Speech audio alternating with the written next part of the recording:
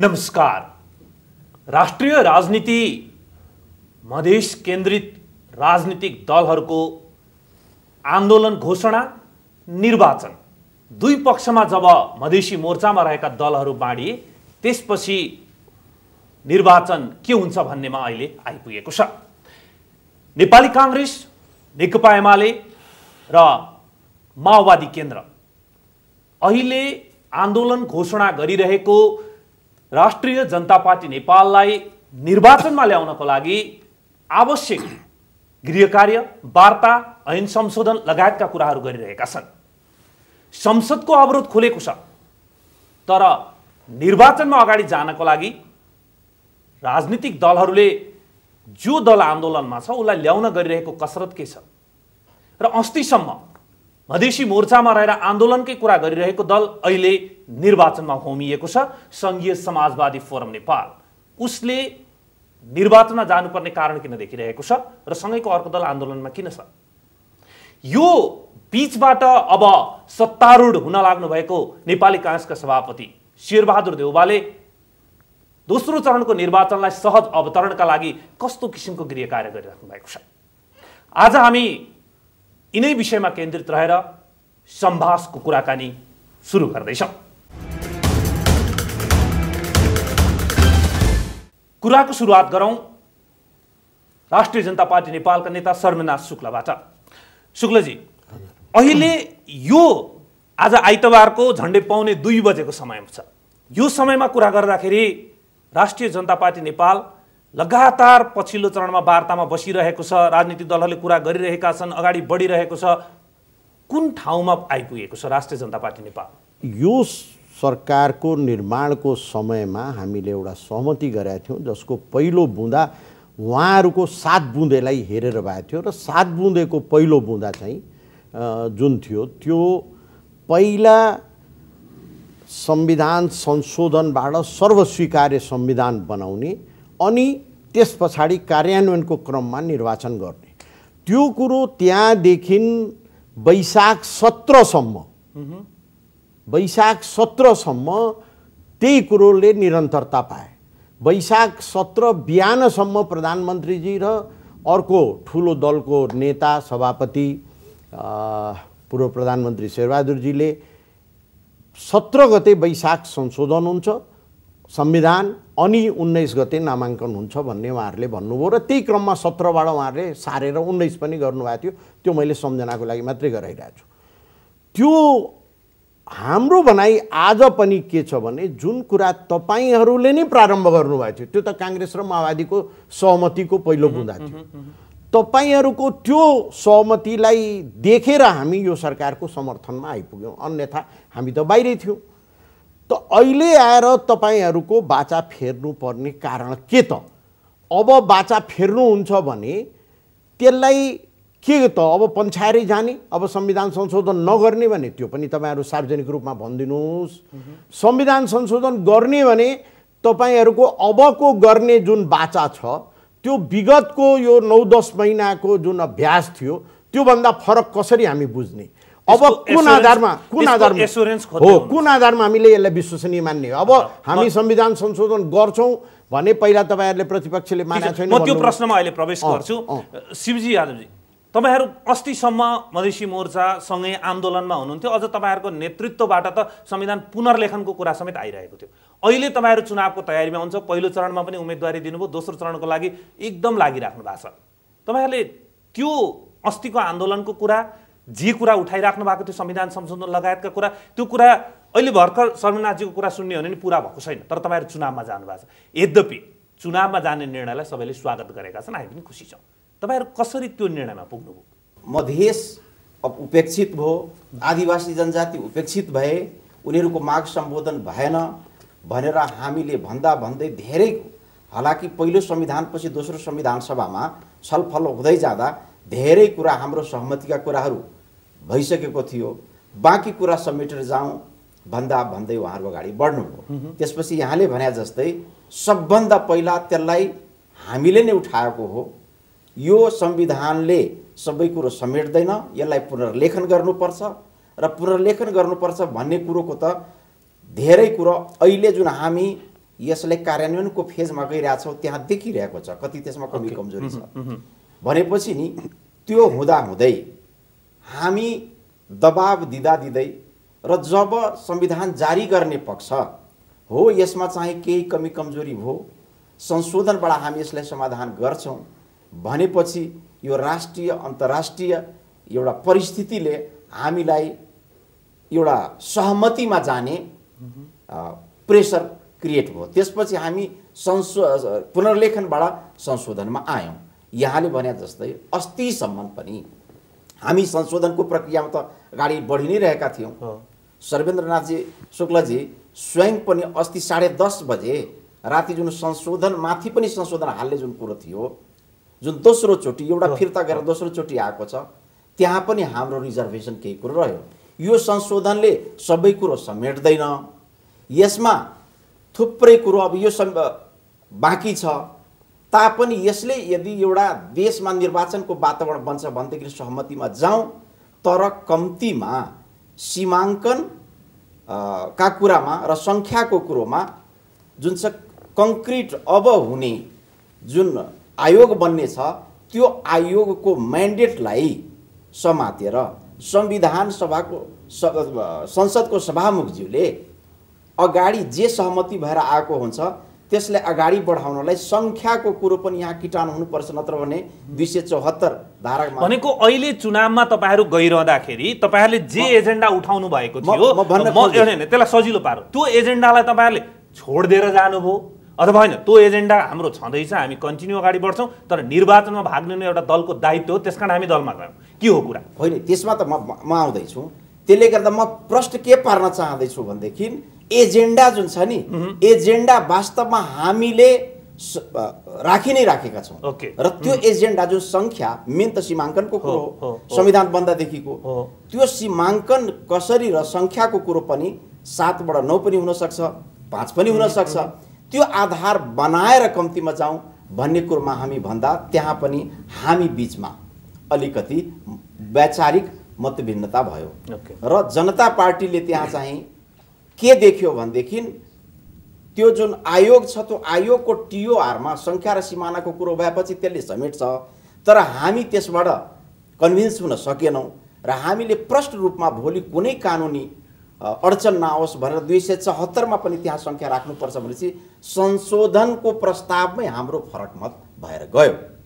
भएर गइसकेपछि त्यसलाई संशोधन हुने बेलामा पनि मिलाउन सकिएला त्यहाँसम्म हामी स फरक मत गए पनि त्यहाँ चाहिँ जतिखेर पास हुने हुन्छ त्यतिखेर राजनीतिक सहमतिबाट हामी एउटा बिन्दुमा पुगोला भन्ने आशामा हामी थियौँ।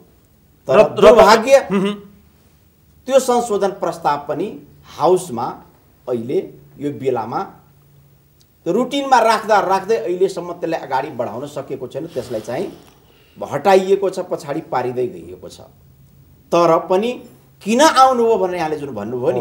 हो यो बिचमै जब राजनीतिक एउटा सहमतिको आधारमा दुई चरणमा चुनाव गर्ने त्यो भइसकेपछि र यो दोस्रो चरणको चुनाव खास गरेर हाम्रै दबाबमा जनता पार्टीको दबाबमा भनौँ न त्यतिखेर त अब हामी छुट्टिएका थिएनौँ।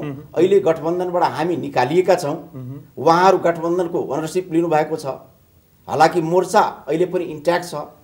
त्यसले गर्दाखेरि उहाँहरूको जुन भनाइ छ त्यो हामी उहाँ यो दोस्रो चरणको मा त सहमति सबै भएको थियो दुई चरणमा गरेर यो बिचमा चाहिँ एउटा सहमतिको बिन्दु खोजेर दोस्रो चरणमा सम्पन्न गरौँ। पहिलो चरणको निर्वाचन त सम्पन्न भइसक्यो। अब तपाईँ भन्नुहोस् एउटै देशमा आधा जनता अब सङ्ख्यागत हिसाबले नभनौँ तर एकातिर अब निर्वाचन सम्पन्न भएर निर्वाचित पदाधिकारीहरू सबै आफ्नो अधिकार लिएर त्यहाँ चाहिँ अब म्यानेज गर्ने अवस्थामा पुगिसके। उनीहरू पहिलो चरणको जुन बजेट कार्यकारी प्रमुखहरूले सञ्चालन गर्दै आइरहेको थियो त्यसमा चाहिँ अब दोस्रो चरणको बजेट मागेर असाढभित्रमा उनीहरू सदुपयोग गर्ने त्यसमा लागिसके। र त्यत्रो ठुलो भूभागमा अहिलेसम्म अन्यलै हुँदा यो देशमा के स्थिति हुन्छ? त्यसले गर्दा बिस वर्षसम्मदेखि अहिलेसम्म निर्वाचन हुन नसकेको आम जनता आफ्नो हातबाट कम्तीमा यो विकास निर्माणका कामहरू केहीहरू त्यो हामी चाहिँ सञ्चालन गर्न पाऊँ र जति अधिकार लेखिएको छ त्यसको चाहिँ एक्सर्साइज गर्न पाऊ भनेर तपाईँहरू निर्वाचनमा। जानुभयो। भनेपछि हामी चाहिँ अब आफ्नो एजेन्डा यसलाई थाती राख्दै यसलाई अगाडि यसको लागि सङ्घर्ष गर्ने बाटो फेरि। जनताकै मैले त्यही जान्न चाहेको थिएँ मैले त्यही जान्न चाहेको थिएँ एनपी शाहजी अहिले दलीय सहमति अघि पनि मैले शर्मिन नाथजीसँग भने लगातार वार्ता चलिरहेछ अहिले दलीय सहमतिको स्टेज भन्नु पर्यो भने कहाँनिर पुगेको छ? मिलनबिन्दु अथवा लगातारको वार्ताको अहिलेको निचोड अथवा निष्कर्ष के हो?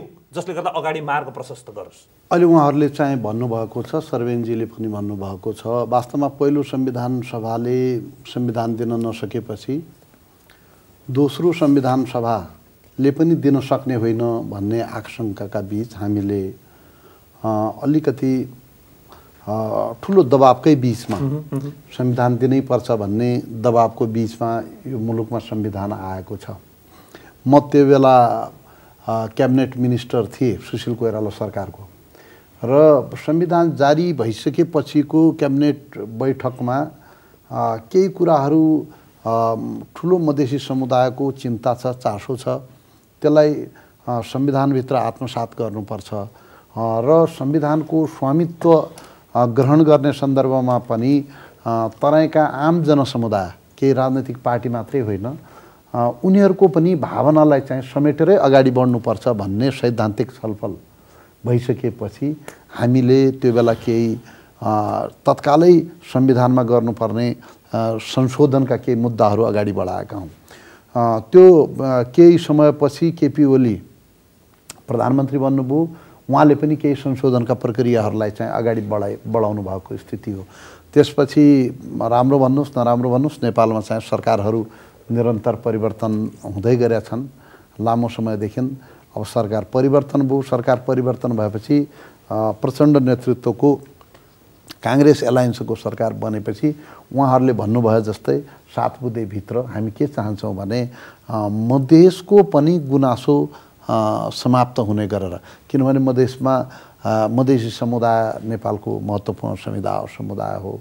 अब नेपालमा भौगोलिक विविधता पनि छ जातीय विविधता पनि छ। त्यो अघि उहाँले पनि उठाउनु भयो नि सात बुधेको कुरा। सात बुधे के थियो जसमा टेकेर प्रचण्ड प्रधानमन्त्री बन्नुभयो कङ्ग्रेस र माओवादीको कोलिसन बन्यो। अहिले उहाँहरूको भनाइ के छ भने लिखित रूपमा हामीसँग गरिएको सम्झौता चाहिँ नमान्ने। अलिखित रूपमा कङ्ग्रेससँग गरिएको सम्झौता मानेर अनि प्रधानमन्त्री चाहिँ हस्तान्तरण गरे भनेर साखुल्ले पल्टिने भन्ने उहाँहरूको भनाइ पनि छ। सात बुधेको औचित्य सकिएको छैन। सात बुधे वास्तवमा उहाँहरूको समर्थन महत्त्वपूर्ण समर्थन लिने सन्दर्भमा गरिएको र त्यो समर्थन भोलिका दिनमा पनि आवश्यक छ। यो एउटा हामी एउटा गठबन्धन संस्कृतिमा अगाडि बढिरहेको बेलामा सरकारको नेतृत्व परिवर्तनले प्रक्रियागत रूपमा पनि या सहमतिका मुद्दाहरूमा पनि धेरै परिवर्तन हुन्छ भन्ने कुरा होइन। अहिले पनि नेपाली कङ्ग्रेसले सात बुधे मित्र भित्र मधेसी समुदायलाई या म त्यहाँको राजनैतिक दलहरूले उठाउँदै आएका जुन मागहरू छन् ती मागहरूलाई संविधान सम्बोधन गर्ने सम्बन्धमा सरकारले पनि प्रयत्न गरेका छ र कङ्ग्रेसले पनि त्यसमा अग्रसरता लिएको छ। समस्या कहाँनिर छ भनेपछि एमालेमा छ। एमाले चाहिँ पुरै राजनीतिलाई निषेध नकारात्मकताका आधारमा हेरेको छ द्वन्द्वलाई लगातार चर्काउने किसिमका अभिव्यक्ति दिएको छ प्रतिपक्ष प्रजातन्त्रमा जति जिम्मेवार हुनु पर्थ्यो त्यो जिम्मेवार नभएर एमालेका जिम्मेवार नेताहरू पनि विद्यार्थी नेताहरूभन्दा पनि ज्यादा क्रान्तिकारी र चर्का भाषण अब अहिले चाहिँ। हप्ताभित्र लगभग साँच्चै सजिलो गरी जाने नि यही हप्ताभित्र तपाईँहरूको पार्टी सभापति प्रधानमन्त्रीमा सत्तारोहण गर्दै हुन्छ प्रधानमन्त्री पद सम्हाल्दै हुन्छ त्यो सम्हालिरहँदाखेरि यसरी छरिएका समस्याहरूलाई त उहाँले समेटेर सत्तारोहण गर्नुभयो भने न दोस्रो चरणको निर्वाचनको सुनिश्चितता हुन्छ। प्रधानमन्त्रीले चाहिँ राज राजीनामा दिनुभयो। प्रधानमन्त्रीले राजीनामा दिइसकेपछि लगातार हाम्रो राजपासँग पनि र अन्य राजनैतिक दलहरूसँग पनि हामी वार्तामा संलग्न छौँ? हिजो मात्रै चाहिँ पनि वार्ता भएको छ। राजपाका नेताहरू चाहिँ हाम्रो पार्टीमा चाहिँ हामीले पार्टी कार्यालयमा स्वागत गऱ्यौँ र उहाँहरूले केही महत्त्वपूर्ण धारणाहरू राख्नु भएको छ सरोकार राख्नु भएको छ र हामी सबैको चिन्ता चासो के हो भने एउटा कहावत छ कसैले बाध्य भएर अ, तानाशाह पनि बन्न नपरोस् परोस् कसैले बाध्य भएर शहीद पनि नबन्नु परोस्। भने जस्तै उहाँहरूले बाध्य भएर चाहिँ आन्दोलनमा जानुपर्ने स्थिति पनि नआओस्। र हामीले पनि चाहिँ होइन कुनै रिजिट कुराका आधारमा चाहिँ उहाँहरू गए जाउन् हामी यसो गर्छौँ भन्ने परिस्थिति नआओस्। लगातार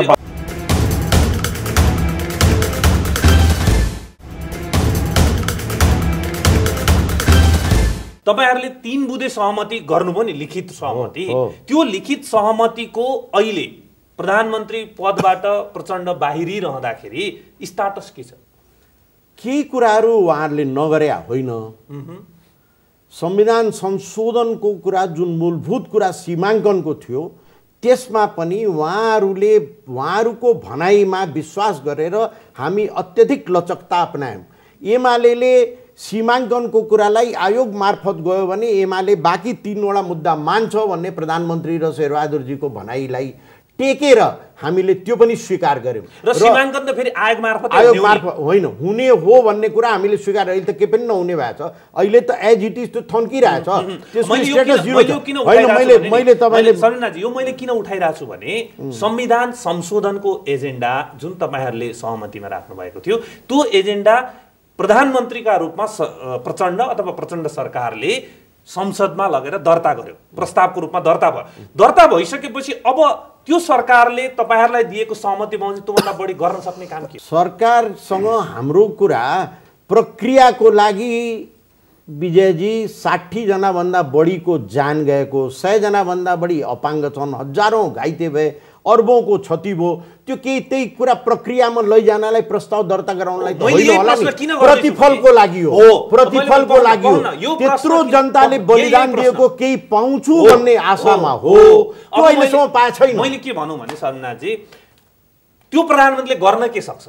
गर्न के म प भन्दैछु गर्न के सक्छ भने तपाईँहरूसँग संविधान संशोधन म गर्छु भनेर सहमति गर्यो तिन बुधे हस्ताक्षर गर्यो भने त्यो प्रधानमन्त्रीको म्याक्सिमम उसको हद कहाँ हो भन्दा उसले त्यो प्रस्ताव संसदमा दर्ता गराउनु पर्यो पास गर्ने ग्यारेन्टी पनि तपाईँहरूलाई दिन सक्छ त्यो प्रधानमन्त्रीले? दिनुपर्छ। कसरी दिन किनभने प्रमुख प्रतिपक्षलाई सुन्नुहोस् न म आउँछु। यो जुन बेलामा प्रस्ताव बन्यो नि। त्यो बनाउनभन्दा अगाडि हामी त्यो समर्थन गर्नभन्दा अगाडि म आज तपाईँ मार्फत त्यो कुरा स्पष्ट जनताको अगाडि राख्न चाहन्छु। उहाँहरूको भनाइ के थियो भने सीमाङ्कनको कुरा जुन हामीले राखिरहेछौँ यो प्रमुख प्रतिपक्षले संविधान सभा दुईमै राखेको सहमतिको मुद्दा हो उहाँहरूले नै राखेको विषय हो यो। काङ्ग्रेस एमाले र राप्रपाले मिलेर राखेको त्यो सीमाङ्कनको बुँदालाई नै उहाँहरूले पहिलो बुँदाको रूपमा राख्नु भएको थियो। यो आशामा कि प्रमुख प्रतिपक्षले कुरा गरेन। अब प्रमुख प्रतिपक्ष उहाँसँग रिसाइरहेको थियो किनभने खुट्टा तान्ने त प्रचण्डजी हुनुहुन्थ्यो। त्यो इगो त्यो रिस फेर्दाखेरि कसको टाउकोमा गयो त फेरि मधेसको टाउकोमा गयो हो, अब यही होइन अब यो यहाँनिर प्रधानमन्त्रीजीले यदि गृह कार्य गरेर प्रमुख प्रतिपक्षले यसमा साथ दिन्छ योभन्दा बढी म सीमाङ्कनमा किनभने हाम्रो त झापादेखि कञ्चनपुरको कुरा थियो नि त। उहाँले यसमा ल्याएर हामीलाई सीमित यस कारणले गराउनु भयो कि प्रमुख प्रतिपक्ष मान्छ। ल प्रमुख प्रतिपक्षले मानेन त्यही बेलामा राप्रपा नेपालसँग त्यही बेलामा विजय गच्छेदारसँग र त्यही बेलामा अन्य सांसदहरूसँग समयमै गृह कार्य भएको भए त्यो पुरा हुन्थ्यो र त्यो कुरो उहाँले वैशाख सत्र गतेसम्म भन्दै हुनुहुन्थ्यो कि चार सय एक मत पुगा पुगिरहेको थियो तेह्रजना गायब भए भनेर। त्यो बेलाको परिस्थिति भएर पछि जुन आखिर प्रमुख प्रतिपक्षको भोटको सङ्ख्या त एक सय बयासी मात्रै हो नि। त्यसलाई एक सय बयासीमा घेरामा राखेर अरू जम्मै म्यानेज गरेको भए त पहिला त काङ्ग्रेसभित्रै नै मतभेद थियो। त्यस पछाडि आएर माओवादीभित्र मतभेद थियो। त्यो मतभेद म्यानेज गर्दा गर्दै उहाँहरूलाई चार पाँच महिना लागेछ र त्यसमा एमालेको स्पिड प्रचण्डजीभन्दा बढी भयो र उहाँले त उहाँले के गर्न सक्ने भन्ने कुरा उहाँको यो तत्कालीन सरकारको लापरवाही र उदासीनता र मौनताले गर्दाखेरि भएको हो। उहाँहरूले चाहेको भए छिटछिटो गृह कार्य गरेको भए त्यो पुरा हुन्थ्यो। यही प्रश्न एनपी साउदजीसँग अब तपाईँ ग्यारेन्टी गर्न सक्नुहुन्छ हामी संविधान संशोधन गरिदिन्छौँ तपाईँहरूको लागि भनेर। हाम्रो पूर्ण कोसिस पूर्ण प्र- प्रयत्न संविधान संशोधनको लागि छ। त्यसको लागि सरकारले पनि कङ्ग्रेसले पनि उहाँहरू आफैले पनि भन्नुभयो म- भन्नुभएको छ कि यथेष्ट मेहनत भएको छ। कङ्ग्रेसभित्र पनि यो मुद्दामा फरक विचार नभएका व्यक्ति होइनन् माओवादीभित्र पनि फरक विचार भएका व्यक्तिहरू हुनुहुन्छ। तैपनि राष्ट्रिय राजनीतिमा सहमतिको राजनीतिमा जाँदाखेरि केही कुरो कसैले छोड्नुपर्छ केही कुरो थप पाउनुपर्छ। सबैले भने जस्तो मागे जस्तो हुने। गिभ एन्ड टेकको कुरा अब अब अब मलाई मैले चाहिँ त्यही कुरामा आउँदैछु। एउटा सरकारको प्रधानमन्त्रीले एउटा अमुक दलसँग सम्झौता गरिसकेपछि त्यसलाई प्रक्रियामा लगेर संसदमा दर्ता गर्यो अँ। अब तपाईँ भन्नुहुन्छ म पासै गराएर दिन्छु भन्नु सक्नुहुन्छ उहाँहरूलाई? अब गर्नुपर्छ भनेर। यसमा चाहिँ हामी साझेदारी गरिरहेका छौँ। यो हाम्रो र तिम्रो भन्ने कुरा चाहिँ यो छैन। उहाँहरू पनि यही संसदको व्यवस्थापिका संसदको एउटा अविभाज्य अङ्ग हो।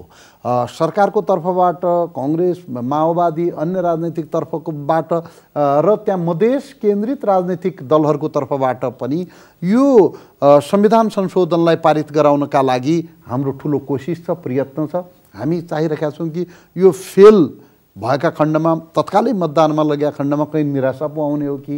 मान्छेहरूलाई चाहिँ संवैधानिक प्रक्रियाबाट हाम्रा मागहरू पुरा भएनन्। अब प्रक्रिया बदल्नुपर्छ भनेर उग्रवादी तत्त्वहरू जुनसुकै समाजमा पनि विद्यमान भएको हुनाले तिनीहरूले चाहिँ टाउको उठाउने मौका नपाउन्। अलिकति समय लागे पनि मुलुक सञ्चालनका लागि हिजो चाहिँ उहाँहरू पनि भन्दै हुनुहुन्छ कि हाम्रै दलहरूभित्र ठुला दलहरूभित्र पनि मतभेद थियो म्यानेज गर्न टाइम लाग्यो चार पाँच महिना लाग्यो भन्दै हुनुहुन्छ। अब मुलुकलाई चाहिँ अगाडि बढाउनेका लागि कन्भिन्स गर्नका लागि केही टाइम लाग्न सक्छ? यसरी मलाई पुरा विश्वास छ कि यो संविधान संशोधनको प्रस्ताव पारित हुन्छ। आज भोलि पर्सि भनेर म चाहिँ सीमा प्रतिशत मापन जस्तै अघि तपाईँले के भन्नुभयो भने म प्रतिपक्षीकै प्रस्ताव हो यो त्यसकारण मानिहाल्छ प्रतिपक्षीले भन तपाईँहरूलाई कङ्ग्रेस र माओवादीले भन्यो। तपाईँहरू विश्वास गरेर समर्थन गर्नु तिन बुधे हस्ताक्षर गर्नु। तर्क थियो त्यहाँ र विश्वास गर्नु तर अहिले आइपुग्दा के भयो भन्दा पास हुन गाह्रो भइरहेको छ। अब म तपाईँलाई भनौँ ठ्याक्क हामीले निर्वाचनमा जान के बाधा पर्यो भन्दाखेरि मैले त्यो कुरा स्पष्ट पारेँ भने ओके। तपाईँलाई सिनेरियो क्लियर हुन्छ। मैले तपाईँलाई दुईटा बुदा भन्नु। त्यो अघि संविधान संशोधनको मेन एजेन्डा थियो त्यसपछि अहिले दुईटा एजेन्डा के छ भन्दाखेरि स्थानीय तहमा जनसङ्ख्याको दोस्रो तेस्रो आएको छ तपाईँहरूको निर्वाचन चिन्ह दल दर्ताको यो अहिलेको मेजर यही तिनवटा यही तिनवटा हो। यही तिनवटा हो एउटा चौथो कुरो हामीले के भनिरहेछौँ भने ठ्याक्क रमजानको बिचमा निर्वाचन भइरहेछ। दस दिन यसलाई पर सारियो भने यो देशमा पन्ध्रदेखि बिस लाख मुस्लिमहरूको जनसङ्ख्या छ। यदि दस दिन यसलाई पर सारियो भने मुस्लिम दाजुभाइहरूलाई पनि दिनभरि पानी पनि नखाइकन बसेर चुनावको प्रचार गर्ने चुनावमा सहभागी हुने र मत हाल्न जान पनि गाह्रो हुन्छ खास गरी महिलाहरूलाई। त्यसैले यसलाई यदि दस दिन दस बाह्र दिन पर सारियो भने उहाँहरूको पनि सक्रिय सहभागिता हुन्छ भन्ने चौथो बुँदा पनि हामीले राख्दै आएको छौँ तर अब यो त मूल कुरा तिनवटा हो। अब तिनवटा कुरोमा हाम्रो भनाइ के छ भने संविधान संशोधन तपाईँहरूले गर्न सक्नु भएन। अब सङ्घीय समाजवादी फोरम के के कुरामा उहाँहरूलाई छुट्टै केही भने होला थाहा छैन। ओके। हामीलाई आश्वस्त गर्न सकेका छैन काङ्ग्रेस र कि हिजो जुन कारणले जुन उदासीनताले जुन लापरवाहीले हिजो स्लिप भयो ओके। फेरि त्यो स्लिप हुँदैन। यद्यपि प्रमुख प्रतिपक्षले हामीले कुरै गर्न पाएनौँ तपाईँहरूसँग अब हामी चाहिँ सकारात्मक हुन्छौँ भन्दै आउनु भएको छ त्यसलाई विश्वास गर्ने यथेष्ट आधार तयार भइसकेका छैन। हिजोको वार्तामा उहाँहरू पनि हुनुहुन्थ्यो। र फेरि पनि त्यो कुरो उहाँहरूले राख्दै आउनु भएको छ। निर्वाचनपछि हामी सकारात्मक हुन्छौँ भनेर अब अझै मुहुर्त मिलाएको छैन। संशोधन पछिको दोस्रो कुरो सङ्ख्या प्रतिनिधित्व। केन्द्रमा प्रतिनिधित्वको सवालमा नेपाली काङ्ग्रेस र एमाले माओवादी मिलेर मधेसमा एकाउन्न प्रतिशत जनसङ्ख्यालाई अडतालिस दशमलव चार आठ प्रतिशत लगभग साढे अडतालिस प्रतिशत प्रतिनिधित्व गर्ने भन्ने उहाँहरूले गरिसक्नु भएको छ। त्यो पहिलो संशोधनबाट। हामीले स्थानीय तहमा पनि पिपुलको प्रत्यक्ष सहभागिता भएको हुनाले त्यहाँ पनि मिनिमम गर्नुहोस् भन्दै आउँ। प्रधानमन्त्रीजीले त्यति त हामी सक्दैनौँ तर लगभग सयवटा जति हामी थपिदिन्छौँ भनेर एट्रेन्डम उहाँले मिटिङमा त्यो कुरो भन्नुभएको थियो। र त्यो सय थप्ने कुरामा एकतिस हजार र बाइस हजारको मापदण्ड पनि निश्चित गरिएको थियो कि नगरपालिकाको लागि मधेसमा एकतिस number. कट अफ नम्बर र गाउँपालिकाको लागि बाइस हजार। यो उप प्रधानमन्त्री कमल थापाजीको उपस्थितिमा प्रधानमन्त्रीको निवास र कार्यालयमा छलफल गरेर निर्धारण गरेको मापदण्ड हो। पछि आएर त्यो मापदण्ड पनि फेरियो। अब अहिलेको स्थानीय विकास त उप प्रधानमन्त्रीजीले के भन्नु भने यो एमाले सिलिङ दियो। उन्नाइसभन्दा बढी तपाईँहरूले बढाउनु हो भने हामी मान्दैनौँ। हो यहीमा म तपाईँलाई अलिकति भनौँ। संविधान संशोधनमा अहिले कङ्ग्रेस पनि के भनिरहेको छ तपाईँहरूलाई भने यो चुनाव गरौँ अनि त्यसपछि अगाडि बढौँ भन्दैछ। एमाले पनि तपाईँहरूलाई त्यही भनिरहेको छ। उतापट्टि सङ्घीय समाजवादी त्यही महसुस गरौँ उहाँले अघि भनिसक्नु उहाँहरू अगाडि बढिसक्नु भएको छ। दोस्रो स्थानीय तह थपमा थप्यो बाइस तर तपाईँहरूले चित्त बुझाइराख्नु भएको छैन। तपाईँहरूले हामीले भने बमोजिम भएन भन्नु जुन अहिले कस्तो हो भने उहाँहरूले भने बमोजिम भएन। हाम्रो होइन। उहाँहरूको भनाइ एकतिस र बाइस हो। ओके। हाम्रो भनाइ उहाँहरूले निर्धारण गरेको उहाँहरूले बाजा फेल्ने उहाँहरू एक्सपर्ट हुनुहुन्छ। ठिक छ, मैले यसलाई एकतिस र बाइस पनि फेरिहाल्नुहुन्छ भन्ने हामीले सोचेका थिएनौँ। अब यो पनि फेरियो यो यसमा अर्को के अडचन आयो भने सर्वोच्च अदालत बोल्यो। होइन? त्यस कारणले अब तेस्रो चाहिँ जुन छ निर्वाचन चिन्ह र दल दर्ता कुरो त्यसको लागि संविधान ऐन संशोधन गर्न सकिन्छ यसरी जाउँ भनेर अहिले दलहरू बोलिरहेका छन्। अब तपाईँहरूको टेक्ने आधार पनि यही निर्वाचन चिन्ह र दल दर्तामा आइपुगेको देखिन्छ। होइन अब सर्वोच्चको कुरामा म भन्न चाहन्न संविधान सभा मैले त्यतापट्टि बहस लान पनि म म त्यता जान चाहन्न भन्न त्यो के भने फैसला आएछ तर फैसला होइन। यो चाहिँ स्टे अर्डर हो। स्टे अर्डर स्टे अर्डर जुन छ त्यो जसरी स्टे अर्डर गरिन्छ त्यसको कानुनी उपचार पनि त्यहीँनिर हुन्छ के? त्यसैको वरिपरि हुन्छ। त यो सरकारले त्यो कानुनी उपचार गर्ने कि नगर्ने? एउटा ठुलो प्रश्न त्यो छ। त्यो भनेको कहाँनिर जोडेर आउँछ भने यो सरकारले पच्चिस सँगसँगै यो बाइस गरेको भए त आज यो प्रश्न चिन्ह उठ्नेवाला थिएन यो अन्तरिम आदेश आउनेवाला थिएन। जानी जानिकन यसलाई ढिला गर्दै गर्दै गर्दै यस्तो बिन्दुमा पुर्यायो कि आयोगले हामी गर्न सक्दैनौँ भन्न थाल्यो र सर्वोच्चले अब चाहिँ ढिला भइसक्यो भन्न थालेको छ। र एमाले पनि त्यही भन्न कसकोले कसको कारणले गर्दा ढिलाइ भयो? हाम्रो कारणले त होइन। त्यो प्रधानमन्त्रीले सेवडा भन्नुभएको थियो त्यही बेलामा गरेको भए आजभन्दा तिन महिना अगाडि थपिसक्यो। मैले हामी पनि सन्तुष्ट हुन्थ्यो। होइन अब यसमा म आउँदाखेरि एउटा कुरो सङ्ख्याको कुरोमा के उपचार के छ? सर्वोच्च अदालतको छ छैन त्यसको उपचार छ छैन गर्न सकिन्छ सकिन्न सकिन्छ भन्ने कसरी गर्न सकिन्छ? त्यसबारेमा छलफल भइरहेछ। दोस्रो कुरो तपाईँले जुन भन्नुभयो चुनाव चिन्ह र उसको लागि त्यो नियमावली र ऐनमा भएको कुरालाई कुनै पनि बहुमतको सरकारले कसरी सजिलोसँग गर्न सक्छ त्यो पनि उहाँहरू जस्तो योग्य सरकार जसले अढाई दिनमा तिन सय सात धाराको संविधान पास गरिदिएको थियो त्यस्तो योग्य र फास्ट ट्र्याकमा काम गर्ने सरकारले एउटा जाबो ऐनलाई संशोधन बाइस दिनलाई आठ दिन बनाउनलाई त्यत्रो समय त। लाग्दैन। अनि त्यो पनि होइन अहिलेसम्म गरिदिए हुन्थ्यो। बिचमा पहिलो यो ग्रीष्मकालीन त्यो जुन विगतको तपाईँको हाउसको सेसन थियो अधिवेशन र अहिले जुन बजेट सेसन छ यसको बिचमा आठ दिन ग्याप थियो। उहाँहरूले के बुद्धिमानी गर्नुभएको छ भने एउटै क्याबिनेटबाट क्लोजिङ र ओपनिङ दुइटै डिक्लेयर गर्नुभयो। त्यो डिक्लेयर नगरेको भए चार पाँच दिनको बिचमा त्यो त्यसै अध्यादेशबाट लागू हुन्थ्यो। त्यो पनि योग्य हुनुहुन्छ उहाँहरू। नभएको होइन। तर मधेसको कुरा भएर त्यसलाई छोडिदिनुहुन्छ टाइम टाइममा बिर्सिदिनुहुन्छ। हामीले टाइम टाइममा घचघचाउनु पर्छ हात जोड्नु पर्छ उहाँहरूले। ए बाबा हामीलाई नबिर्सिदिनुहोस् न।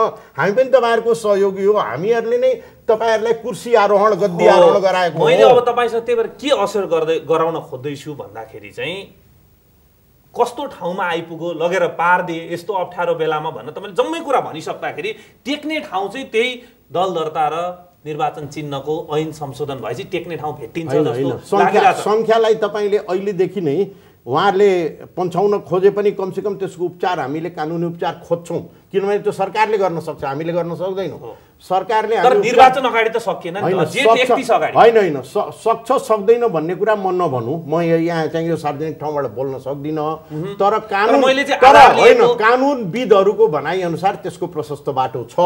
जेठ एकतिस अगाडि पनि त्यो हुनसक्छ भन्ने कुरा छ। होइन निर्वाचन आयोग बोल्या बोल्या म त्यसमा तपाईँको ध्यान कहाँनिर आकर्षण गराउन चाहन्छु भने यहाँबाटनिर यो दुई राहबाट दुईवटा बाटो छ। समस्या त छ मधेसमा यो उहाँहरूले समस्या छैन यिनीहरूले जबरजस्ती गरे बेकारमा मागे उहाँहरूले किन जानुभयो थाहा छैन। तर हामीले अझ पनि त्यहाँ समस्या देखिरहेको छौँ त्यो समस्याको समाधान हामीले निर्वाचनमा भाग नलिएर पनि हुँदैन हामी भाग लिएर पनि त्यो समस्याको समाधान हुँदैन। समस्याको समाधान भने समाधानको बाटोमा हिँडेरै हुन्छ र त्यो। चाहिँ। ठ्याक्क कम्प्लिट गरिदिन्छु। अनि त्यहाँबाट सङ्ख्याको जुन कुरो छ त्यो निर्वाचनमा हामी जान तयार हुन सक्छौँ। सङ्ख्याको कुरो र त्यसमा सरकारले विगतमा जुन त्रुटि गर्यो त्यो त्रुटि सच्याउनलाई अधिकतम प्रयास सरकारले गरिदियोस्। अहिले त हाम्रो चुनाव चिन्ह पनि छैन के पनि छैन। भोटे तालचा लाएर तपाईँले कोठामा हामीलाई थुन्या जस्तो अब टेलिफोन पनि खोजिदिनु भयो सबै गरिदिनु भयो गुहार पनि माग्ने ठाउँ छैन। अब मान्नै पर्छ तपाईँले त्यसमा वर्कआउट गरेरै सत्तारोहण गर्नुपर्छ शेरबहादुर देवजीले। म उहाँसँग आउँछु। पहिला सिडी अहिले जति पनि उहाँले समस्याको कुरा उठाइराख्नु भएको छ नि तपाईँहरूले चुनावमा जाने बित्तिकै त्यो जम्मै समस्या छोडिदिएको। त्यो समस्या अब समस्या रहेन समाधान भयो भन्ने अर्थ हो।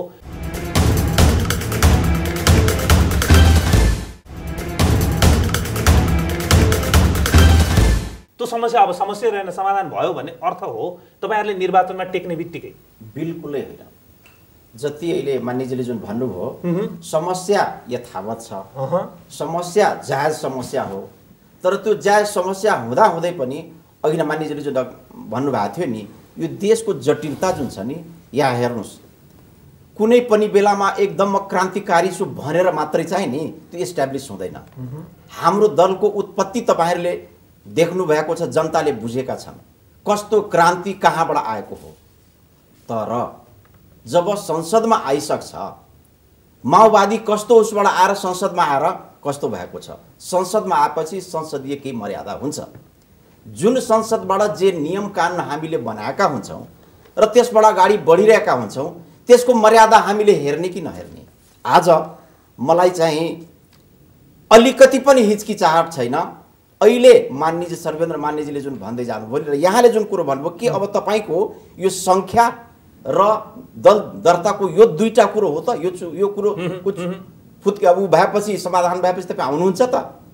तपाईँ आफै भन्नुहोस् दल दर्ताको मान्यजीले जुन भन्नुभएको छ बाइस हजार र तिस हजार भनौँ न गाउँपालिका र नगरपालिकाको त्यो एउटा त्यो जनसङ्ख्याको आधारमा। यदि त्यो हो भनेदेखि बाइसवटा गाउँपालिका बनाएर त्यो आधार टेकिन्छ टेकिँदैन नि। टेकिँदैन भनेदेखि महन्त ठाकुरजीको जिल्लामा तिनवटा बढाएँ एउटा महन्तजीको लागि एउटा राजेन्द्रजीको लागि एउटा महेन्द्रजीको लागि। र ल उपेन्द्रजीको लागि पनि एउटा सुनसरीमा बढाइदिए। यो न्याय हुन्छ जनतालाई। त्यो नेताको लागि बढाउने सङ्ख्या हो र। त्यो त जनसङ्ख्याको आधारमा पनि त्यहाँको जनताले नि उचित आफ्नो चाहिँ जे छ त्यसको आधार त्यस हिसाबले तिनीहरू रोल गर्न पाउन्। हाम्रो भनाइ अँ। त्यो मुद्दा यथावत छ। हो। बाइस हजार र तिस हजार जुन तोक्नु भएको छ त्यहाँ पनि कमी कमजोरी छ। हाम्रो अझ तर एउटा के भने पहाड र मधेसको चाहिँ नि बराबर गरौँ। हिमालमा जनसङ्ख्या कम छ त्यहाँ चाहिँ त्यसमा हामी सहमत सहमत जब। एग्री एउटा भइसकेका छौँ भनेदेखि एउटा चिज त स्थापित भइसक्यो। अब यसलाई गर्ने कसरी भनेदेखि जुन सरकारलाई बाधा पर्यो र अहिले सर्वोच्चले जुन कुरोमा स्टे गरिदियो त हामी भर्खरै अहिले अहिलेको अहिले अब एक घन्टापछि कतै तपाईँले न्युज पढ्नुहुनेछ। जुन महाभियोग आएको थियो त्यो चाहिँ फिर्ता लियो। भनेपछि नि यस्तो संवेदनशील अवस्थामा पनि सर्वोच्चको हरेक कुरालाई तपाईँले नि म मान्दिनँ। हिजो मात्रै मैले आफ्नै मुखले त सुनेको छैन। तर राजेन्द्रजी महतोजीले जनता पार्ट पार्टीकै एउटा पार्टले उहाँले के भन्यो यो सर्वोच्च सर्वोच्च कुरा म जान्दिनँ भनेर नि। मलाई नि यो भन्न नि असाध्यै मन थिएन। तर यस्ता कुरा म तपाईँसँग बुदावाई जान्छु। संविधान संशोधन जुन चारवटा विषय सरकारले राखेको छ त्यो हुनुपर्छ भन्ने अहिले तपाईँहरूको अहिले पनि भनाइ छ। एकदम। एक नम्बर। दुई नम्बर स्थानीय तहमा सङ्ख्या थप हुनुपर्छ भन्ने अहिले तपाईँहरूको। भनाइ छ। हो। होइन? यो दुईटा छ। तर यो दुईटा क्रमशः जान्छ हामी चुनाव चाहिँ भाग लिउँ भनेर तपाईँहरू चुनावमा जानुभएको छ। क्लियर अघि नै चाहिँ मानिसले जुन भन्नुभयो कि यो यस्तो समस्या जुन अस्ति नै सात वैशाख सात गते जुन अवस्था सृजना हो त्यो त वास्तवमा नि भोटमा गएको भए त्यहाँ देखिन्थ्यो। हो। होइन? वास्तवमा को त्यहाँ आउँछ आउँदैन। त्यहाँसम्म त पुगिएन नि। अहिलेसम्म कुनै पनि पार्टीको कसैले चुरायो राजाले चोराइदियो रे दसवटा लुकाइदियो रे त्यसले गर्दा भयो भनेर नि मलाई त बडा दुःख लाग्छ। यस्तो बेलामा फेरि फेरि पनि नि जो संस्था एक किसिमले जनताले त्यसलाई आफ्नो एउटामा उचित स्थानमा राखिदिएको छ। त्यहाँ पनि बिच बिचमा गएर गिज्याइदिने जिस्काइदिने। राजाको के हैसियत छ र। सांसदलाई लुकाउन सक्छ लुकाएकै यही छ भने त्यो पार्टीलाई भन्नु पर्यो शर्मनाथजीसँग। शर्मनाथजी यो अहिले भर उहाँहरू पनि हाम्रो एजेन्डा यही हो। हामीले छोडेका छैनौँ भन्दै हुनुहुन्छ तर चुनावमा जानुपर्छ भन्दै हुनुहुन्छ। तपाईँहरूले त्यसै भनेर निर्वाचनमा जान किन गाह्रो छ? मैले यो बुदामा तपाईँलाई एउटा ट्यागलाइन के भनौँ भने निर्वाचनमा भाग नलिँदाको परिणाम त झन् एक्लै नै हुन्छ। होइन। यदि सबै दल मिलेर। निर्वाचन बहिष्कार गर्छ के हुन्छ? तर। एउटा दल बहिष्कारमा जान्छ भने हामीले उदाहरण देखेका छौँ म नाम नलिउँ विगतका केही दलहरू जसले संविधान सभा बहिष्कार गरेर हिँडे उनको हैसियत अहिले के भइरहेको छ? सुन्नुहोस् न है उहाँ बहिष्कारको भन्ने कुरामा हामीले जुन विज्ञप्ति दिएका छौँ त्यसमा स्पष्ट हामीले उल्लेख गरेका छौँ कि सरकारले यी कुरा गर्दैन हामीले आग्रह गर्दछौँ। बुँदा नम्बर चारमा त्यो कुरो हाम्रो विज्ञप्तिमा छ।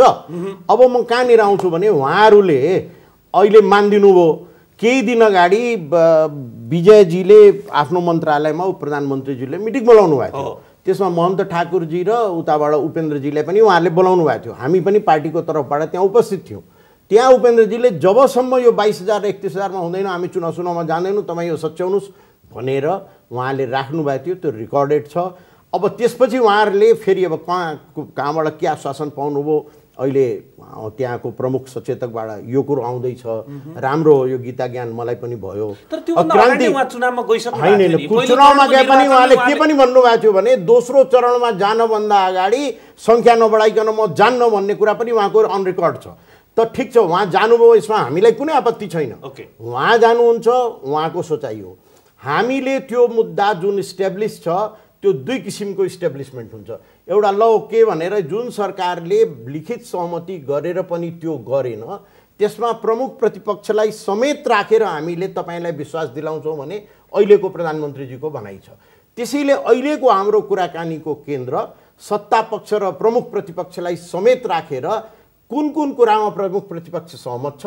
कुन कुन कुरा प्रमुख प्रतिपक्ष बगैर हुन सक्छ? जस्तो अब मुद्दा फिर्ता लिने कुरा पनि त्यत्तिकै अड्क्या छ सहितको कुराहरू पनि अड्क्या जुन यो सरकारले गर्न सक्ने कुराहरू पनि के कुराहरू बाँकी छ? त्यो कुरो उहाँहरूले पनि हिजोसम्म भन्दै आउनुभएको थियो अहिले भन्नुभएको छैन राम्रो हो।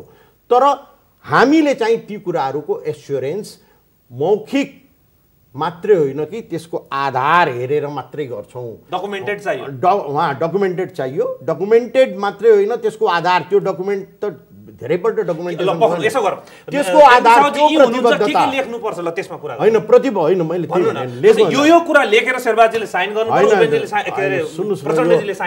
त्यो कुरा छलफल चाहिँ त्यहाँ टेबलमा त्यही कुराको हिजो पनि भयो। के हिजो? बिहान पनि भयो। जुन जनतालाई। आज बेल म बेल सुन्नुहोस् न अब त्यो जुन कुरा अन्तिम टुङ्गोमा पुगेको छ सम्झौताको। त्यो कुन कुरा उहाँहरूले कसरी यो यो कुरा हिजो बारम्बार शेरबहादुरजीले त्यो मिटिङमा म त गएको थिएन तर मैले नेताहरूले जुन हामीलाई भन्नुभयो शेरबहादुरजीले अत्यन्त सकारात्मक रूपमा उहाँहरूको माग एकदम जायज छ। यो माग हामीले पुरा गर्नै पर्छ। तपाईँहरू पनि एसुरेन्स दिनुहोस् भनेर बारम्बार उहाँहरूले एमालेतिर इङ्गित गरेर भन्दै आउनुभएको थियो। र त्यो कुरोलाई अब एमाले पनि सकारात्मक रूपमा लिइरहेको स्थितिमा मलाई लाग्छ एउटा चाहिँ सबैजनाको एउटा ल हामी यसरी यसरी गर्ने भयौँ अब निर्वाचन पछाडि यो कुरालाई अथवा हामी कुनै हालतमा गर्दैनौँ तपाईँहरूले जे जे इच्छा लाग्छ गर्नुहोस् दुइटा बाटो त हुन्छ नि। त्यो दुईटा बाटोमा काङ्ग्रेस र माओवादीको पोजिसन के किनभने अहिले त उहाँहरू तिनैजना मिलेर एउटा समान होइन। होइन अहिले भने। जस्तो डकुमेन्टेड गर्न सकिने कुराहरू के के हुन सक्छ नेपाली काङ्ग्रेसको तर्फबाट भन्नुपर्दा। किनभने अब अब सत्तारोहण गर्न प्रधान माओवादीको समर्थन होला आफ्नो ठाउँमा छ। प्रधानमन्त्रीको सरकारको नेतृत्व गर्न नेपाली काङ्ग्रेस लागिरहेको छ भने उहाँहरूले पनि अबको असुरेन्स तपाईँहरूबाटै खोज्ने हो।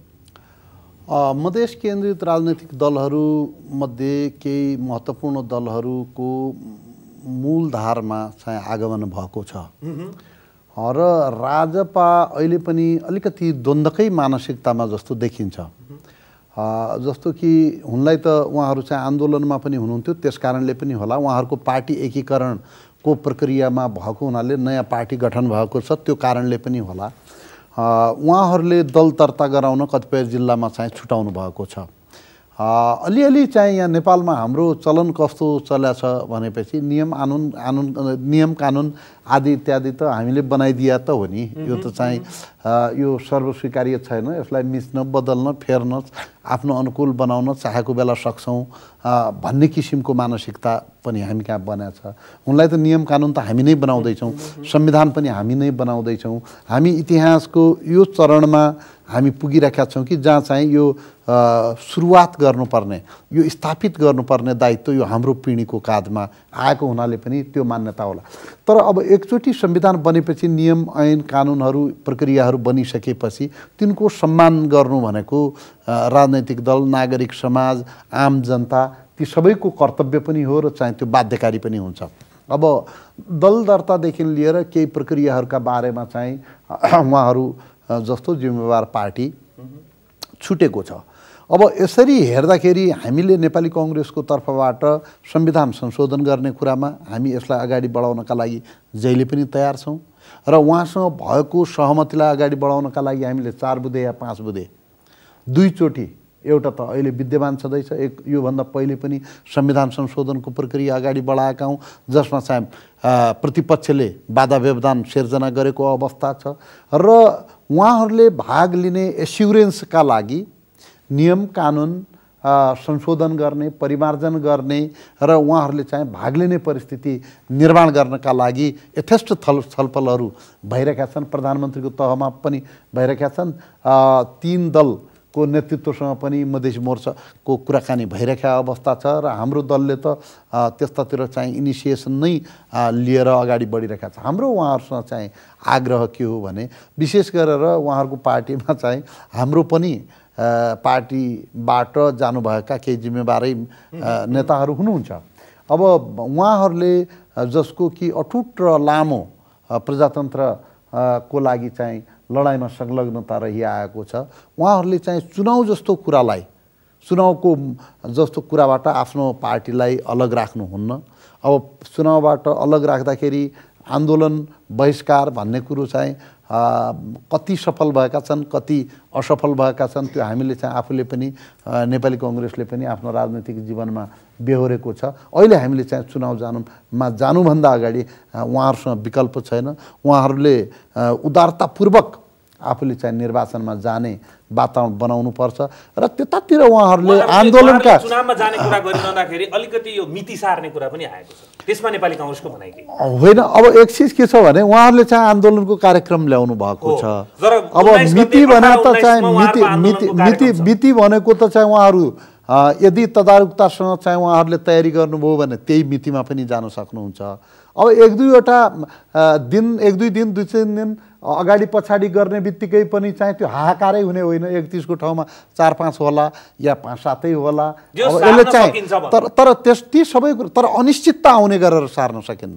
जस्तो निर्वाचनको उहाँहरूले चाहिँ भाग लिने प्रक्रियाका बारेमा उहाँहरू चाहिँ पूर्ण रूपमा इमान्दार हुनुहुन्छ भने उहाँहरूलाई समेट्ने कुरा नेपाली जनताका लागि। प्रमुख प्रतिपक्षी दल नेकपा एमाले देखिएको छ। सार्नै हुँदैन भन्नेमा अब उहाँ उहाँ मेरो त चाहिँ प्रमुख प्रतिपक्षसँग कुरा भएको छैन।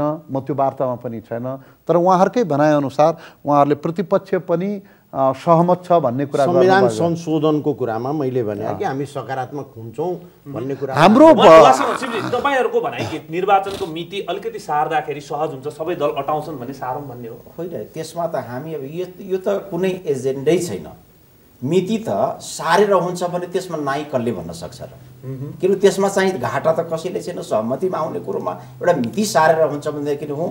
त्यसमा पनि मानिसले जुन भन्नुभयो अघि न मुस्लिमको कुरो चाहिँ त्यसमा समेटिन्छ त्यो समुदायले पनि एउटा चित्त बुझ्छ। भनेपछि त्यसमा हाम्रो नाइ नास्ति छैन। तर विजयजीले जुन भन्नुभयो त्यो नेकपा एमालेको त्यहाँ एकदम गम्भीर आपत्ति छ। मिति। सार्नमा। कुनै पनि हालतमा पाइँदैन।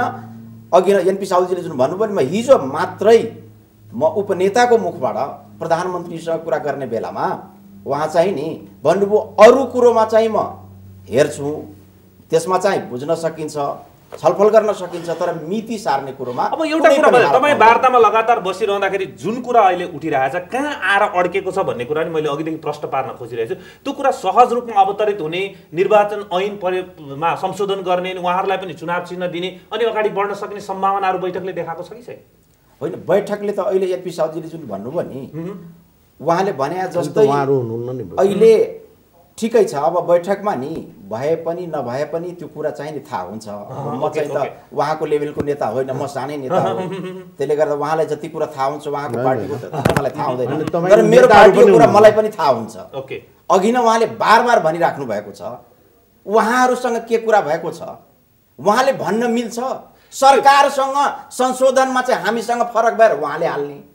उहाँ चाहिँ नि गोप्य कोठामा सरकारका प्रतिनिधिसँग कुरा गरेर सँगै सहमति गरेर यसमा भन्ने हामीसँग फरक मत राख्ने र मेरो हाम्रो कुरो हुन्छ र कसैसँग अहिले हेर्नुहोस् के उहाँहरूको मैले? बुझेको।